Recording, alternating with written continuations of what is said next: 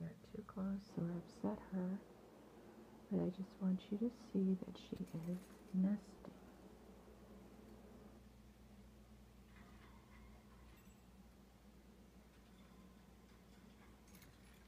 I'm not going to say anything more.